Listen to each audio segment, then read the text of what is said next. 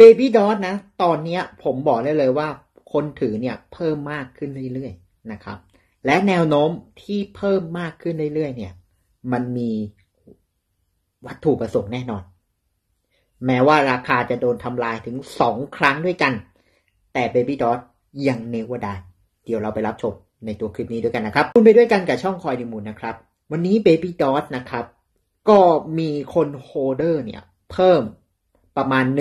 1.325 ล้านคนนะครับ เพิ่มแค่ประมาณ 2 หรือ 3 วันแค่หลักแสนเลย สิ่งนี้นะครับบอกถึงอะไรนะคนหวังอะไรนะถึงได้มีการโฮเพิ่มขึ้น ผมบอกเลยนะว่าโฮเพิ่มขึ้นนะครับ นั้น Baby Dot ถึงแม้ว่าในช่วงอ่าประมาณกลางเดือน เข้าปลายเดือน มีการ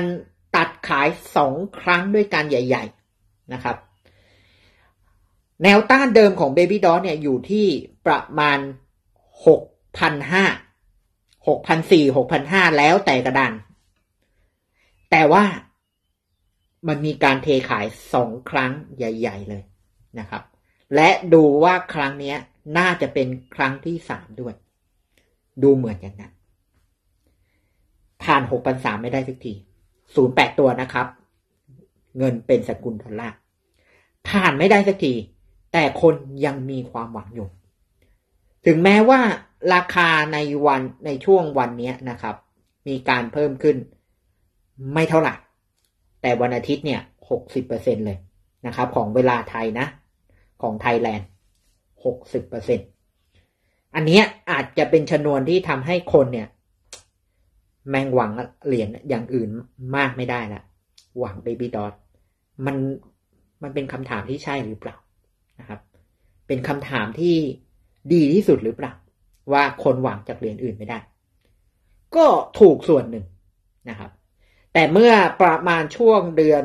ต้นปีเนี่ย หรือต้นเดือนเนี่ย คนก็กล่าวไว้ว่าเฮ้ยเบบี้ดอทเนี่ย มันจะไปหลักถึง ถึงนั่นได้นะ ถึงประมาณอ่าศูนย์ห้าตัวนะฉะนั้น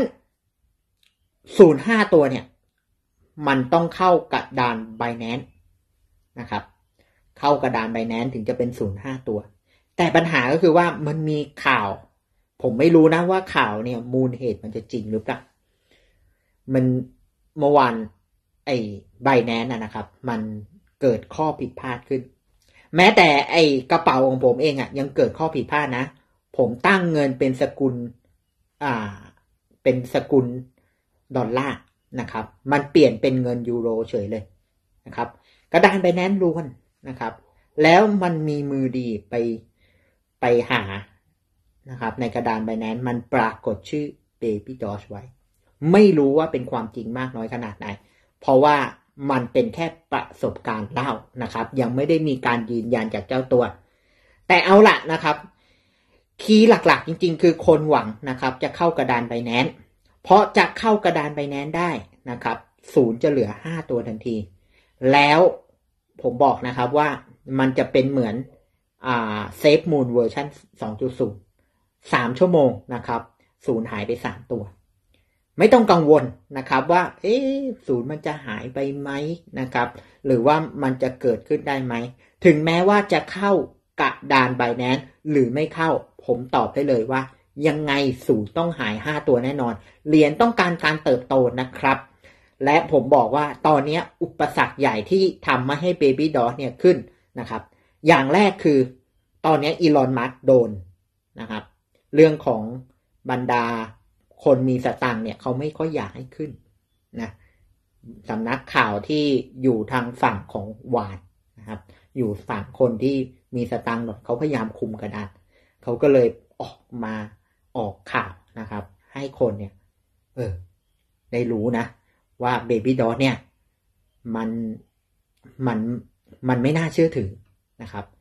อ่า มันเป็นอัลกอริทึมของไลท์คอยจริง ๆ แต่มันไม่ผ่านการตรวจสอบ เครือข่ายที่เขาตรวจสอบเอาไว้นะครับ มันมีคนคุมแค่เพียงคนคนเดียว อันนี้ผมตอบเลยนะว่า no นะครับ มันเป็นกึ่งเซ็นทรัลไลซ์กึ่งดีเซ็นทรัลไลซ์จริง ๆ แต่ปัญหาก็คือว่า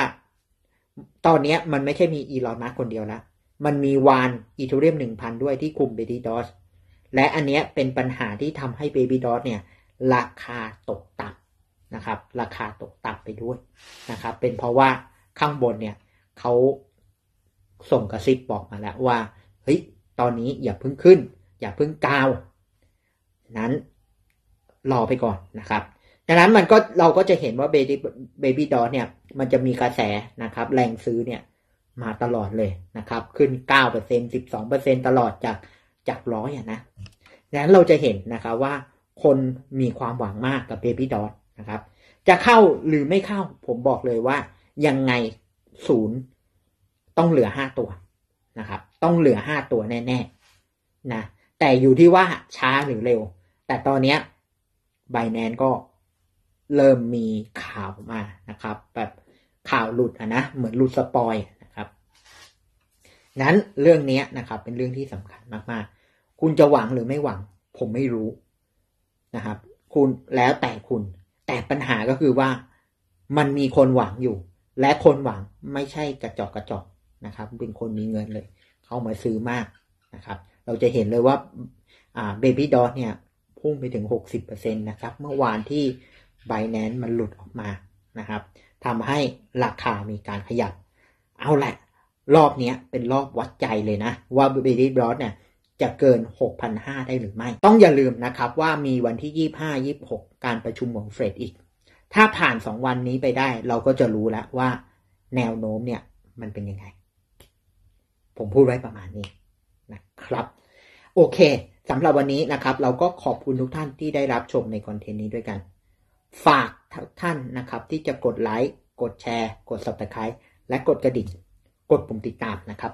เรามีหลายช่องทางเลย ช่องทางที่สำคัญที่สุดคือไลน์กลุ่มนะครับไลน์กลุ่มเราชื่อ Cryptocurrency Community ก็สามารถทักเข้ามาได้ เพราะในไลน์กลุ่มเนี่ยฟรีนะ ไม่มีค่าใช้จ่ายนะครับ ก็สามารถเข้ามาติดต่อได้นะครับ เพราะในไลน์กลุ่มเนี่ยจะช่วยเหลือให้ท่านเนี่ยสามารถลงทุนนะครับ ในสินทรัพย์ต่างๆได้นะครับ แล้วเรามีกลุ่ม Baby Dot ด้วยนะครับ อยากเข้ามา ทักที่เพจ เดี๋ยวผมส่งรายละเอียดให้นะครับ และผมมีนะครับอ่าเหรียญตัวหนึ่งนะครับ ชื่อ StarNet นะเหรียญตัวนี้นะครับ เป็นเหรียญที่ช่วยท่านในการลงทุนนะครับ เป็นเหรียญต้นน้ำและย้ำนะครับว่าไม่ใช่แชร์ลูกโซ่ เข้าไปศึกษาหาความรู้ก่อนในกลุ่ม แล้วค่อยตัดสินใจ ถ้ามันเป็นแชร์ลูกโซ่จริง รู้สึกไม่ปลอดภัย ไม่ต้องลงทุน ผมบอกประมาณนี้นะครับ ว่าโอเพนเลย อยู่ที่ว่า คุณจะตัดสินใจยังไง เพราะมันเป็นเงินของคุณอยู่แล้ว แต่จุดเด่นของมันนะครับ ที่ผมจะมาโฆษณาเนี่ยมีอยู่สี่อย่างหนึ่งนะครับ อ่า ธุรกิจเบื้องหลังเนี่ยเป็นอีคอมเมิร์ซกับตู้กดน้ำนะ กับกดพวกขนมนะ ตามห้างต่างๆสองนะครับ อุปทานมีประมาณหมื่นล้านล้านเหรียญสามคือเผาสามเปอร์เซ็นต นะครับ ทุกครั้งจะเขาจะมีกำหนดการเผาสี่คือราคาเริ่มต้น 0.04 ตัว 4,000 กว่าดอลลาร์แค่นี้แหละนะครับ แต่สำหรับวันนี้ผมก็ขอบคุณทุกท่านที่ได้รับชมในคอนเทนต์นี้ด้วยกัน ฝากทุกท่านนะครับที่จะติดตามด้วยกัน และผมหวังว่า Baby d o s จะ go to the moon ไปด้วยกัน และพอร์ตการลงทุนของท่านจะมูนไปด้วยกันกับช่องคอยนิมูลสำหรับวันนี้ขอตัวลาไปก่อนครับ สวัสดีครับ